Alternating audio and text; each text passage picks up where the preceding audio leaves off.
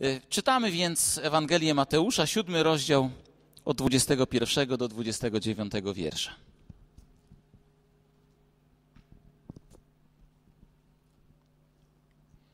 Nie każdy, kto się do mnie zwraca, Panie, Panie, wejdzie do Królestwa Niebios.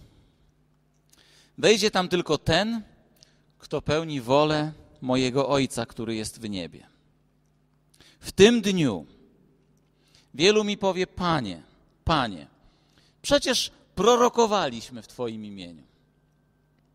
W Twoim imieniu wypędzaliśmy demony i w Twoim imieniu dokonaliśmy wielu cudów. Wówczas im oświadczę: Nigdy Was nie poznałem. Odejdźcie ode mnie, wy, którzy dopuszczacie się bezprawia. Każdy więc, kto słucha moich słów i robi z nich użytek, jest jak człowiek mądry, który swój dom postawił na skalę. Spadł ulewny deszcz, wezbrały rzeki, zerwały się wichry i uderzyły w ten dom, lecz on nie runął, bo był zbudowany na skalę. Każdego natomiast, kto słucha moich słów, lecz nie robi z nich użytku, można porównać do człowieka bezmyślnego, który swój dom zbudował na piasku. Spadł deszcz, wezbrały rzeki, powiały wiatry i uderzyły na ten dom, a on runął i jego upadek był wielki. Gdy Jezus skończył mówić, tłumy były zdumione jego nauczaniem. W odróżnieniu od znawców prawa uczył bowiem jak ktoś, na kim spoczywa władza. Najpierw w tym fragmencie Pan Jezus daje poważne ostrzeżenie. Jestem przekonany, że każdemu z nas zdarzyło się przynajmniej raz słyszeć kazanie na temat tego fragmentu Słowa Bożego, bo jest to niezwykle ważny i interesujący fragment. A więc Jezus daje najpierw ostrzeżenie i powiada: Nie każdy, kto do mnie się zwraca, Panie, albo mówiąc po naszemu, nie każdy, kto wyznaje Jezusa Panem, wejdzie do Królestwa Niebios. Jeśli tak sprawę postawimy, to jest to jak gdyby zaprzeczenie nauki o zbawieniu i zaprzeczenie tego, w jaki sposób dostać się do nieba. I nie chciałbym dzisiaj tutaj dyskutować, jak to naprawdę jest, ale, ale kilka wniosków powinniśmy z tego wyciągnąć. Otóż naszym zadaniem jest nie tylko to, żeby wyznać Jezusa Panem, ale żeby w naszym życiu coś się istotnie i naprawdę zmieniło.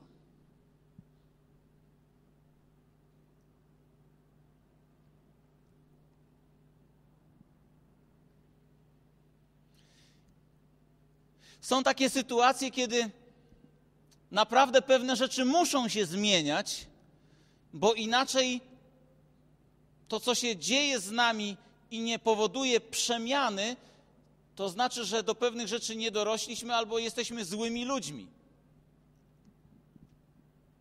Takie sytuacje to małżeństwo. Jeżeli ludzie się po ślubie nie zmieniają, albo powiem inaczej, ich życie się nie zmienia, to znaczy, że coś jest bardzo nie tak. No bo zanim z kimś się poznasz, zakochasz i pobierzesz, to możesz sobie jeździć kiedy chcesz, możesz wracać do domu, o której chcesz nad ranem, czyli o 23.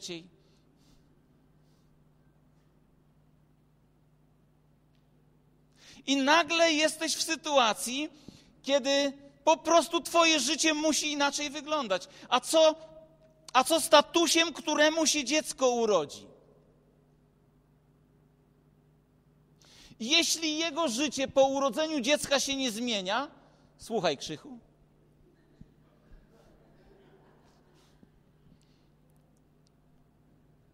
Jeśli jest status, któremu życie po urodzeniu się dziecka nie zmienia się, to znaczy, że taki człowiek nie powinien mieć dzieci. Bo życie musi się zmienić w momencie, kiedy rodzą się dzieci. Bo życie musi inaczej wyglądać. Jestem innym człowiekiem. Te rzeczy, które były do dnia dzisiejszego czy do wczorajszego, dopóki się dziecko nie urodziło, nie urodziło, skończyły się. Największe zdziwienie dla mnie było to, kiedy się Beniamin urodził i przywieźliśmy go do domu, że to już na stałe.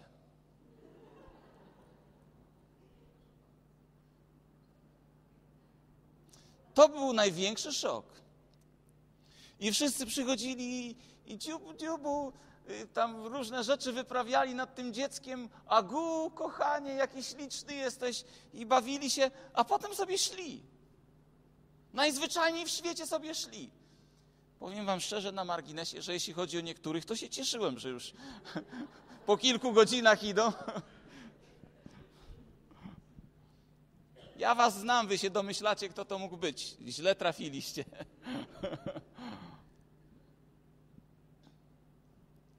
A potem przychodziła noc, potem przychodziły kolki, a potem y, w, w nocy, szczególnie z Noem, kiedy tak było, tak było, kiedy Ewa karmiła Noego w nocy, trzeba go było pół godziny nosić, żeby mu się potem to jedzenie nie ulało. Niech mi nikt nie mówi, że bycie tatą to jest tylko metryka gdzieś tam w dokumentach. Zmienia się życie człowieka. I Pan Jezus powiada tak: jeśli ktoś mówi, Panie, Panie, a jego życie się nie zmienia, to się srodze zawiedzie dnia, kiedy trzeba będzie wejść do Królestwa Bożego. Bo Królestwo Boże i życie dla Pana Jezusa Chrystusa to jest życie, które polega na przemianie, że staje się innym, nowym człowiekiem od środka, od wnętrza. Staje się innym, nowym człowiekiem.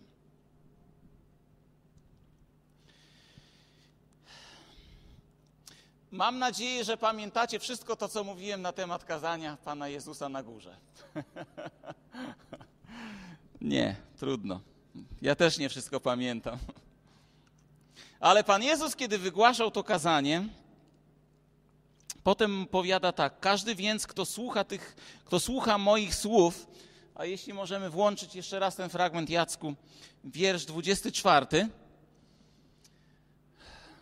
Każdy więc, kto słucha tych, tych słów moich. A więc Pan Jezus jakby jednoznacznie wskazywał na kazanie na górze i na te słowa, które wypowiedział. I mam wrażenie, że Pan Jezus nie zostawia słuchaczom ani odrobiny swobody. I powiada: Od tego, co zrobisz z moim kazaniem, z moimi słowami, zależy Twoje życie. I tak się teraz zastanawiam, no bo Pan Jezus mówi tak. Będą ludzie, którzy przyjdą do mnie, których życie się nie zmieniło i powiedzą: Panie, demony wyganialiśmy.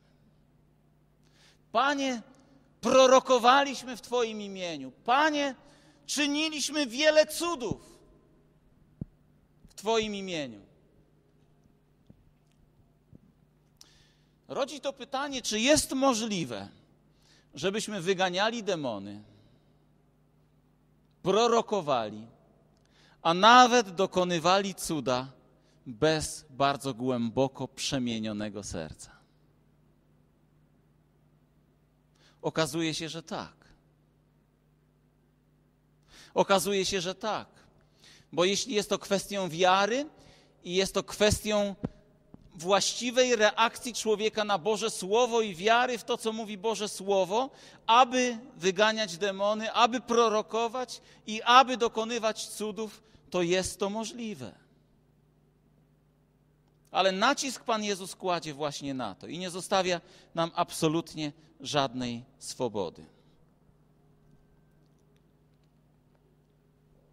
I kiedy Jezus mówi do tych ludzi, że być może będzie dzień, gdy przyjdą ci najbardziej zasłużeni, najbardziej podziwiani, prawda? No bo kogo w służbie najbardziej podziwiamy? W służbie nie podziwia się tych, którzy są łagodni, cierpliwi. W służbie się podziwia tych, którzy dokonują wielkich dzieł. Prawda? Ten to dopiero jest mąż Boży albo kobieta pełna Boga. Demony uciekają, proroctwa, cuda. A więc Pan Jezus mówi, kiedy przyjdą ci najbardziej podziwiani, to On wówczas powie im: Nie znam was, nigdy was nie poznałem, nigdy was nie znałem, odejdźcie ode mnie.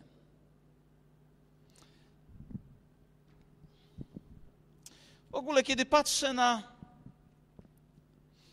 na Ewangelię Mateusza, na to kazanie na górze, powiem Wam,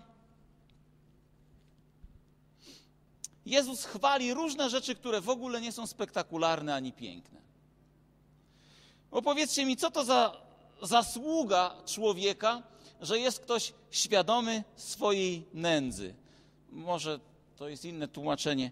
Jacku, daj piąty rozdział Ewangelii Mateusza, tam gdzie są błogosławieństwa. Tam jest ubodzy. Powiedzcie, co to za zasługa człowieka, żeby być ubogim? Czy to jest osiągnięcie życiowe, za które się medale daje?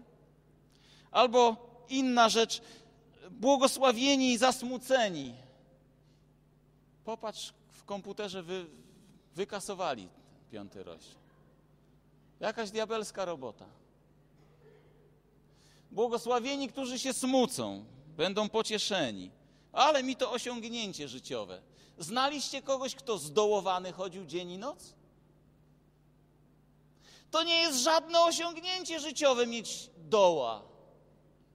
Osiągnięciem życiowym jest to, żeby wyjść z tego doła, prawda? I Pan Jezus tak patrzy, mówi: Ci błogosławieni, ci błogosławieni, błogosławieni, którzy pragną i łakną sprawiedliwości, błogosławieni czystego serca albo pokój czyniący. Zobaczcie, tam nie ma żadnych szczególnych osiągnięć. A co tam jest? Co tam Pan Jezus wymienia? Stan serca człowieka. Stan serca człowieka to, kim człowiek jest przed swoim Bogiem i jakim jest człowiekiem. A więc to, to kazanie na górze, a także zakończenie tego kazania na górze, to są słowa Jezusa mówiące przede wszystkim na temat przemiany serca człowieka, a nie na temat jego czynów. Bez tej przemiany i dalej Jezus kontynuuje: Życie jest porównane do budowania domu na piasku, a co za tym idzie, musi się to skończyć katastrofą. Jeśli chodzi o serce człowieka, nie wiem, czy pamiętacie, kiedy Samuel na rozkaz Boży wybierał króla w Izraelu i poszedł do rodziny człowieka, który nazywał się Jesse. Stare tłumaczenie mówi Isaj. I Samuel przybywa do tego domu i zaczyna się przyglądać. Przygląda się pierwszemu synowi, Jessego, i dostrzega w nim pewne predyspozycje do tego, żeby był królem nad Izraelem. Przystojny, wyrafinowany, może nawet wyrachowany, jak na króla przystało. Człowiek, który potrafi podejmować decyzje, mężny rycerz i Samuel sobie mówi: Chwała Bogu, nareszcie jest. A Bóg powiada do Samuela tak: Samuelu, zaraz, zaraz, zaraz, zaraz, nie śpiesz się z namaszczaniem. Ten mi się nie podoba, bo ja patrzę w serce człowieka, a nie w to, kim on jest. I kiedy tak Zastanówmy się przez chwilę nad, nad, Sam, nad e, Dawidem i nad Samuelem. Bo myślę, że kiedy myślimy o królu Dawidzie, największym królu w Izraelu, to myślimy raczej jak o kimś wzniosłym, niesamowity człowiek. Jego początki były takie, że nawet bracia, mama i tata uznali, że nie powinien się znaleźć na uczcie, którą urządzają dla proroka. Jeśli ktoś był od brudnej, najgorszej roboty, to był to Dawid. To był to Dawid, któremu, no słuchajcie, jest impreza, prorok przychodzi, największy prorok w Izraelu. To kogo do pilnowania stada dać? Najgorszego tego, który się najmniej do wszystkiego nadaje. I oni posłali go, idź paść te owieczki, bo my, prawdziwi ludzie, którzy się do szlachetnych dzieł nadają, my będziemy podejmować proroka.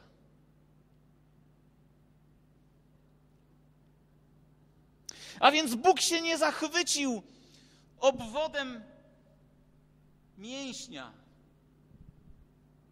Bóg się nie zachwycił postawą, Bóg się nie zachwycił wyrafinowanymi słowami, ale patrzył w serce. A potem, kiedy już wszyscy bracia przeszli obok Samuela i Bóg powiedział mu: Żaden z nich się nie nadaje, Samuel zgłupiał. Boże, jak to? Wszyscy przeszli, cała rodzina się tutaj pokazała i co, żaden? No i w końcu pyta: Ale macie jeszcze kogoś? No mamy, ale on się do niczego nie, nie nadaje. No jest tam taki Dawid, no. Dawidek jest taki malutki. Przyprowadźcie go. I kiedy przyprowadzają go, wtedy Pan mówi: To jest ten. My często nie rozumiemy Bożego serca i patrzymy jak ludzie na nas samych i oceniamy po ludzku. Oceniamy siebie wzajemnie po ludzku, według tego, jakie mamy kryteria oceny. I myślę, to jest bardzo poważne ostrzeżenie, włącznie z tym fragmentem, który czytałem, że Bóg inaczej ocenia życie człowieka niż my oceniamy i również inaczej ocenia życie człowieka niż życie nas samych, niż my samych siebie oceniamy.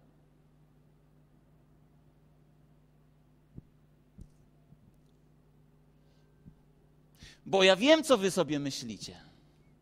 Jak wam dobrze idzie na modlitwie, jak wam dobrze idzie z czytaniem Słowa Bożego, jak nie nagrzeszyliście ostatnio szpetnie, to myślicie sobie tak. Pan Bóg mnie kocha. Halleluja. Bóg jest dobry, a ja jeszcze lepszy. Prawda? Już was nie będę przyciskał. Ale tak jest. Jak my się dobrze czujemy, jak możemy przyjść do Boga i tak mu pokazać, co super jest, nie? A Bóg patrzy w Twoje serce i dobrze wie.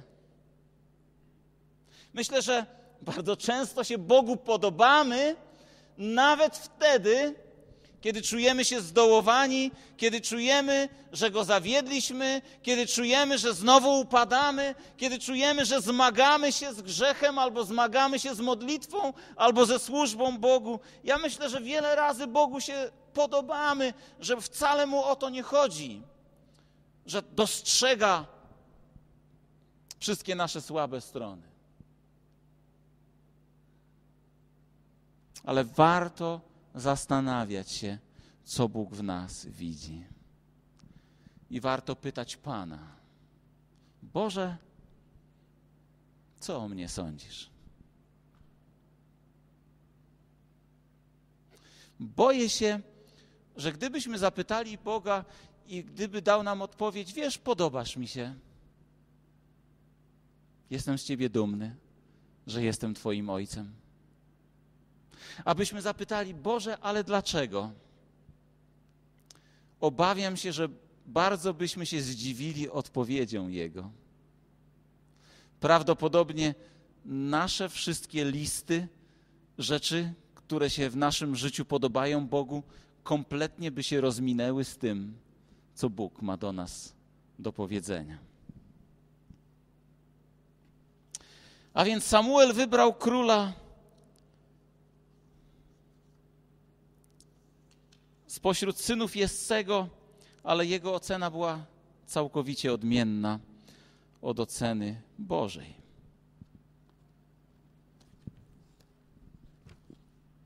Tak to jest, jak człowiek próbuje szpanować teczkami i w ogóle różnymi takimi, a, a potem nie może sobie poradzić z kartką zwykłą. A potem Pan Jezus, kiedy mówi o tej ocenie,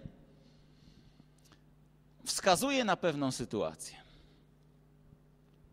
Mianowicie zaczyna mówić do wszystkich tych ludzi, którzy słuchali słów Jezusa o budowaniu domu.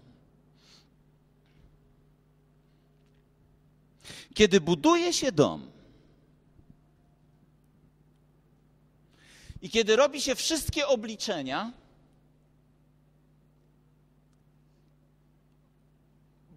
no bo po pierwsze jest takie prawo w Polsce, a po drugie jest w tym mądrość. Kiedy robi się obliczenia dotyczące domu, to wiecie, na jaki czas robi się te obliczenia? Na czas kryzysu. Mam do Was pytanie.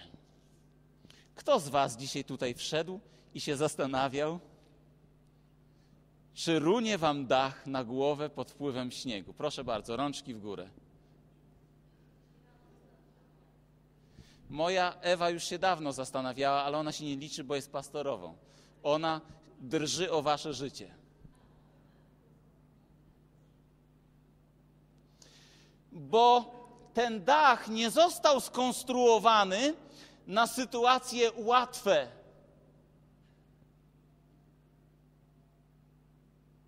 On nie został skonstruowany po to, żeby jakiś lotnik z góry leci, żeby zobaczył ładny dach z wzorkami. Ten dach został skonstruowany tak, żeby nam się na głowę nic nie zawaliło, kiedy będzie metr śniegu tam.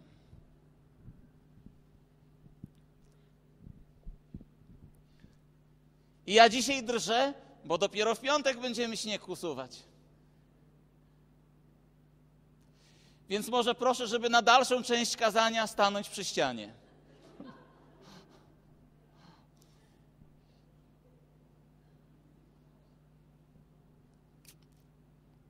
I proszę, żeby Janusz za filary nie chwytał, bo jeszcze się okaże, że Samson jesteś.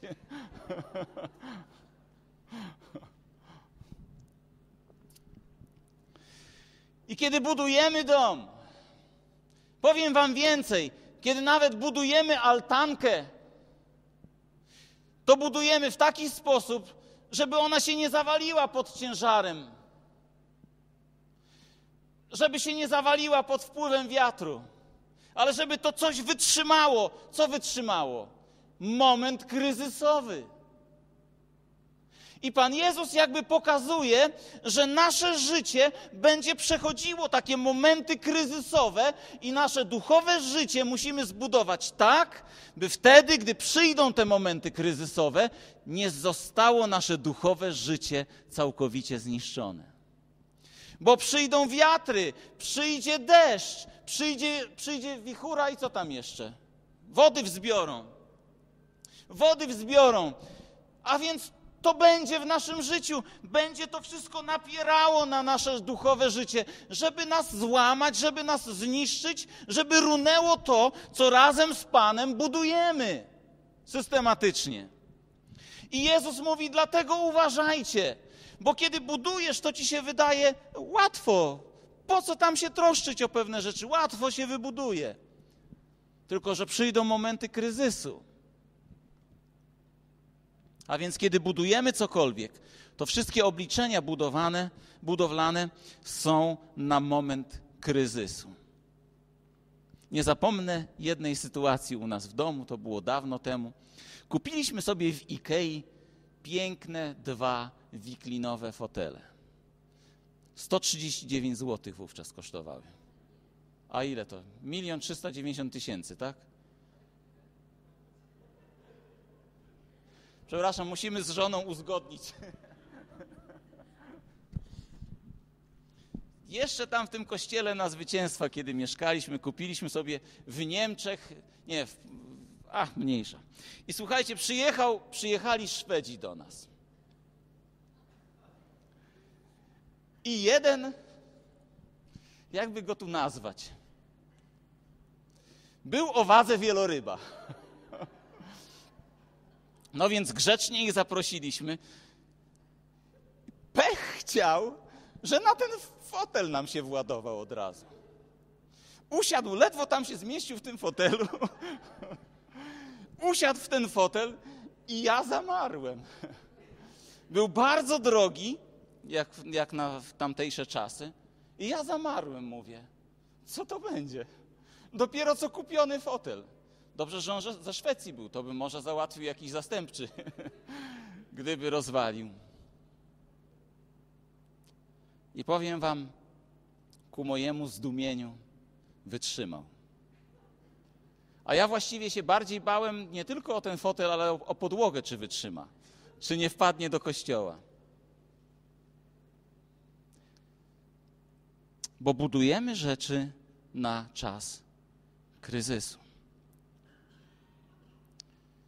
Te krzesła nie są skonstruowane na Ewę Sycz.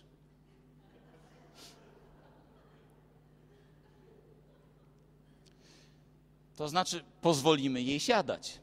Ale chciałbym, żebyście byli świadomi, że te krzesła nie są na Ewę skonstruowane.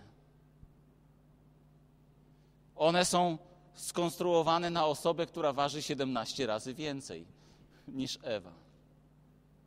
Dlaczego? Bo jakby to było, gdybyśmy za każdym razem, kiedy siadamy na to krzesło, bali się, że się rozwali pod nami, że nie wytrzyma naszego ciężaru. I Pan Jezus opowiada tę całą historię. Wybaczcie mi, że ja może tak trochę żartobliwie spróbuję, próbuję Wam przedstawić pewną rzeczywistość, ale Pan Jezus przedstawia nam tę całą historię po to, żebyśmy zrozumieli jedną rzecz: że nie buduje się krzeseł z papieru. Że kiedy buduje się dach albo kiedy buduje się mury, to budujemy to nie na najbardziej słoneczny dzień, nie na najpiękniejszą, bezwieczną pogodę, ale buduje się to na czas kryzysu. I podobnie nasze duchowe życie buduje się na czas kryzysu. Jezus mówi: Jeżeli chcesz przetrwać i chcesz, by Twoje duchowe życie przetrwało, zacznij kopać głębiej, żeby oprzeć swoje życie na skale. Gdybym miał powiedzieć, co oznacza to kopanie, ta marna robota, powiedziałbym tak. Osobiście uważam, że w chrześcijaństwie nie ma nic tak przykrego i trudnego, jak rezygnacja z samego siebie i umieranie dla swojego ja. W chrześcijaństwie nie ma nic tak przykrego, jak konieczność rezygnacji. Nie ma też chrześcijanina, który by nie musiał rezygnować z czegoś, co jest częścią jego natury. A więc Pan Jezus powiada nam tak: kiedy mówisz do mnie, Panie, Panie, to ja przede wszystkim oczekuję przemienionego życia. A jak to życie się przemienia? Tutaj Pan Jezus daje nam pewną poradę i powiada tak: Człowiek, który słucha Słowa Bożego i wykonuje je, podobny jest do kogoś, kto buduje dom i kopie, żeby dokopać się do skały i buduje na skale. A więc nasze życie przede wszystkim polega na napełnianiu się Bożym Słowem, na ciągłym karmieniu się Bożym Słowem, na konfrontacji naszego życia, naszej natury, naszych odruchów, na konfrontacji tego, co chcielibyśmy robić, na konfrontacji naszych planów życiowych z Bożym Słowem.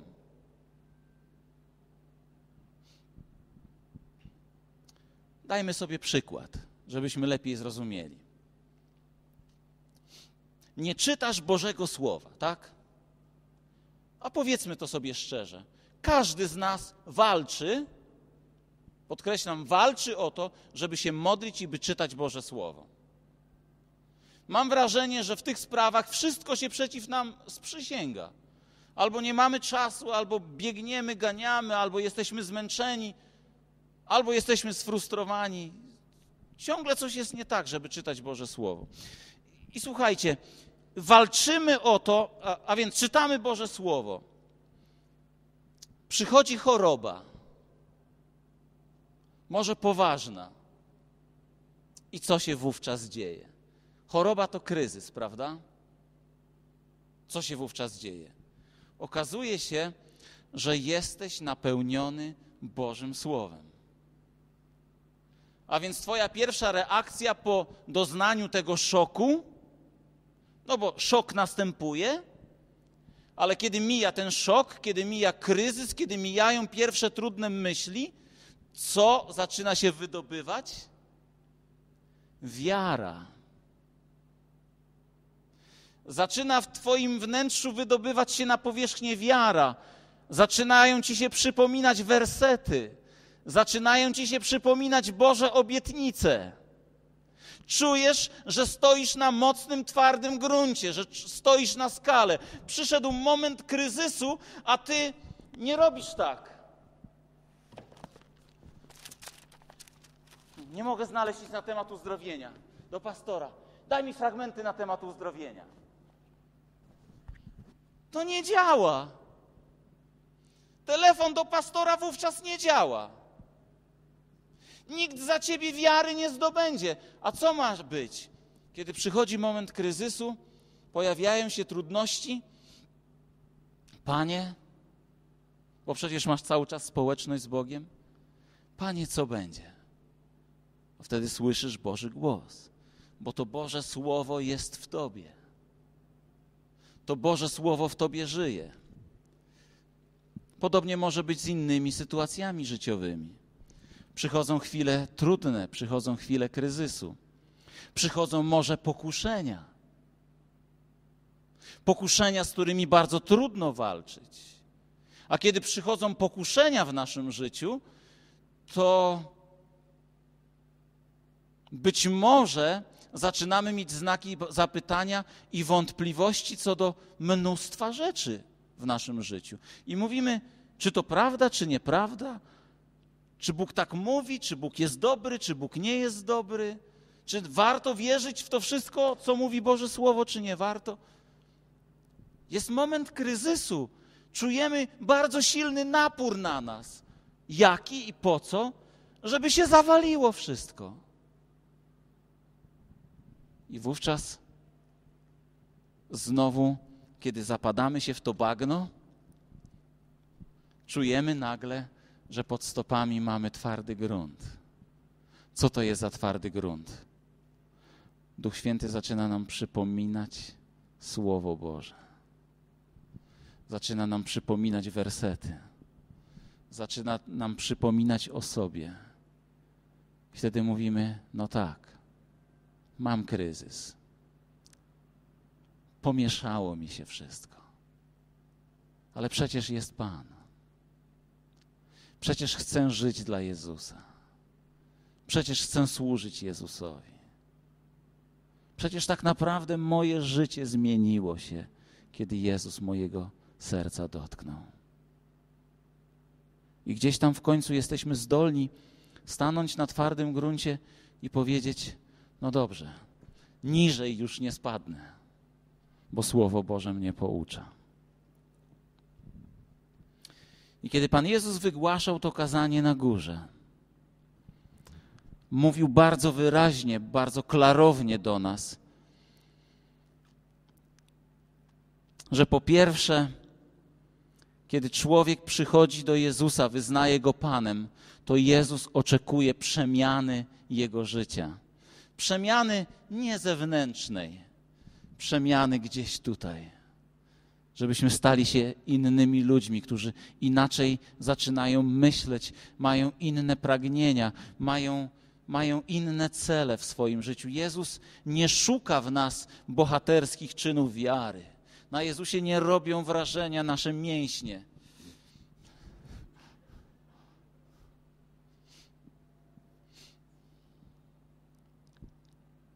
Na Jezusie robi wrażenie nasze przemienione serce, które pod wpływem działania łaski Bożej zaczyna odrzucać, odkopywać to, czym jesteśmy zasypani. Jesteśmy zasypani różnymi porządliwościami. Mówimy, że na, nas, na nasze życie ma wpływ wychowanie, środowisko, w którym jesteśmy, genetyka, geny, które w nas są. To ma wpływ na nas. Więc bierzemy łopatę, odkopujemy to, odkopujemy to. Słowo Boże nas interesuje, aż przychodzi chwila, że czujemy, no tak, to jest ten punkt, to jest ten grunt. To Słowo Boże zasiane w nas i na tym Słowie chcemy budować i rozwijać swoje życie.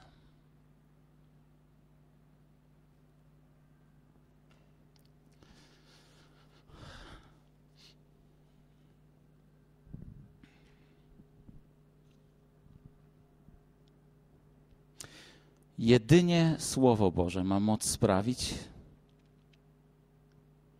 że gdy przyjdzie kryzys jakiegokolwiek formatu, nic nam się nie stanie.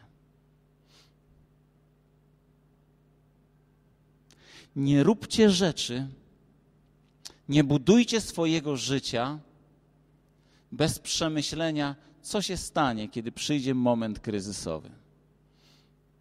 Nie, jeszcze jakiś czas temu robiono takie buty, które miały, miały gwarancję pod warunkiem prawidłowego użytkowania. Prawidłowe użytkowanie polegało na tym, że jak deszcz spadł, nie można było w nich chodzić. Buty są po to, żeby chodzić w nich nawet wtedy, kiedy kryzys przychodzi, kryzys na nie. O, chwała Bogu. Ja już tak nic nie chciałem mówić. Myślałem, że to może powiew Ducha Świętego, ale kiedy ja kazanie mówię, ale okazało się, że nie. Kiedy, kiedy przychodzi kryzys, muszą wytrzymać wszystko. I to nam daje Boże Słowo.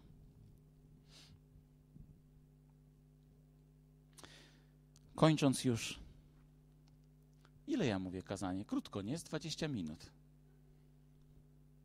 Nowy człowiek według Boga to ten, który tak dalece napełnił się Słowem Bożym, że w końcu zaczęło to na niego oddziaływać. A kiedy Jezus widzi to, to po pierwsze jest szczęśliwy, bo znajduje w naszym sercu skarb. Ale jest i drugi powód bo wie, że cokolwiek w życiu przyjdzie, ostoimy się. To jest trochę tak jak z naszymi dziećmi. Kiedy zaczynają iść w dorosłe życie, ja jeszcze nie wiem, co to znaczy, ale już się boję. To myślę sobie tak, chciałbym, żeby moje dzieci miały w swoim wnętrzu takie ta, tak ukształtowane serca, żeby gdziekolwiek będą, gdziekolwiek pójdą, w jakimkolwiek znajdą się środowisku, żeby byli pięknymi i dobrymi ludźmi. I myślę, że Panu Jezusowi na tym zależy, kiedy powiada, żebyśmy w tym złym świecie zbudowali swoje życie na Bożym Słowie bo przyjdzie czas, kiedy będzie napór na tę naszą budowlę życiową. Przyjdzie czas, kiedy będzie napór na wszystko, co jest dla nas wartościowe. Więc napełniajmy się Bożym Słowem zawsze. Kiedy nam się nie chce, czytajmy Boże Słowo. Kiedy nam się chce, tym bardziej czytajmy. Kiedy wszystko się przeciw nam sprzeciwia, czytajmy Boże Słowo. Bo kiedy przyjdzie moment naporu na nas, tak jak teraz napiera śnieg na ten dach, a my zrelaksowani sobie siedzimy.